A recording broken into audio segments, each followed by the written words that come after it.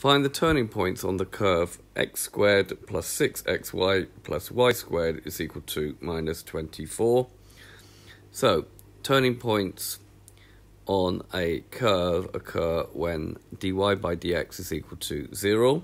So we take our implicit function x squared plus 6xy plus y squared is equal to minus 24. We're going to call that equation 1 to begin with.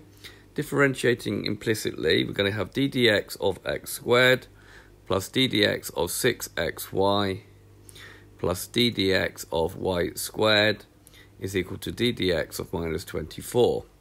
This is going to give 2x, and now we're here, we're going to have to use the product rule. So we're going to have 6x and y as separate terms. So, different, so we have 6x. The differential of y with respect to x becomes dy by dx plus y, and the differential 6x becomes 6.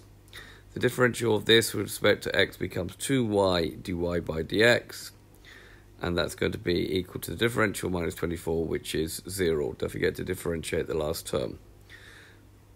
That gives me 2x plus 6x dy by dx plus 6y plus 2y dy by dx is equal to 0. Now, because we're staying stationary points, we don't really need to make dy by dx the subject.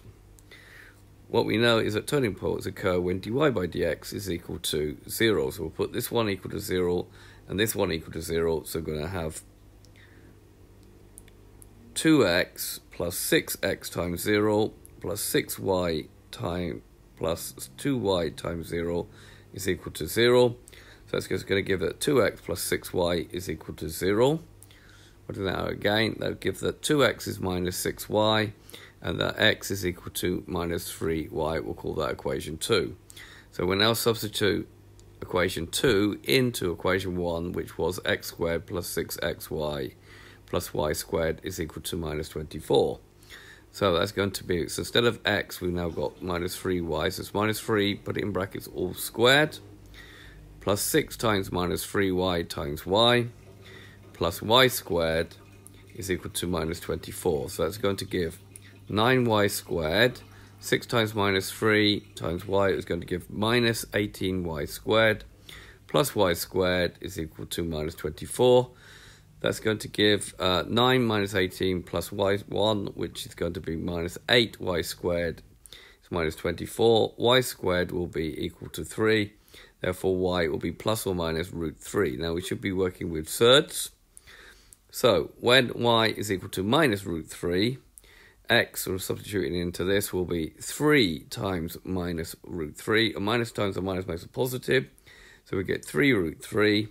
And when y is equal to root 3, we get x is equal to minus 3 times root 3, which gives me minus 3 root 3.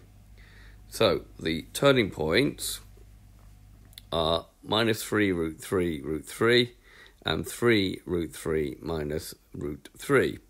Now we can look at this with a diagram here. So here's the curve.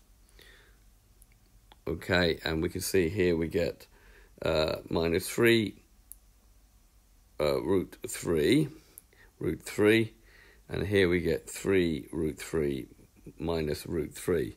These are turning points, but this will be a minimum point. The turning point is where the curve turns, and this is also a turning point as well. Okay, so this has been a video to show you how to use implicit differentiation to find turning points on a curve. I hope you've understood and I thank you very much for watching.